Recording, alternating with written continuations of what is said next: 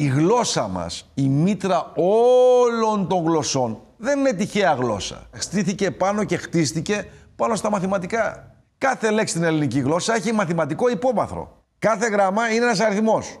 Οπότε κατ' επέκταση και κάθε λέξη είναι ένας αριθμός. Και αυτό έρευνα και απόδειξη το έκανε ο Πυθαγόρας. Ένα από τα μεγαλύτερα μυαλά της αρχαιότητος. Οι αριθμοί, τα σχήματα, η αρμονία και τα άστρα έχουν κάτι κοινό, έλεγε ο Πυθαγόρας. Είναι πολύ σημαντικό να μπείτε στην ουσία των λέξεων και τις σχέσεις τους που έχουν με τους αριθμούς. Φανταστείτε πόσο πολυπλόκαμη και πόσο πολύπλοκη είναι η ελληνική γλώσσα.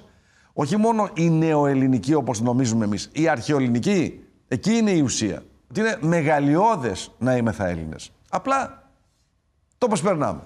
Έλα μωρέ γιατί δεν είναι έτσι όμως. Η ελληνική σκέψη, η ελληνική γνώση, η ελληνική αντίληψη, η ελληνική επιστήμη έχει πολύ βαθιές ρίζες για να τις βλέπουμε επιφανειακά. τώρα και τι με νοιάζει εμένα. Δεν είναι πάλι έτσι επαναλαμβάνω.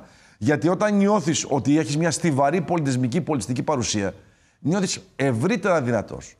Και όταν ασχολείσαι με τη γλώσσα σου, σημαίνει ότι αρχίζεις και καλλιεργείς τη σκέψη σου.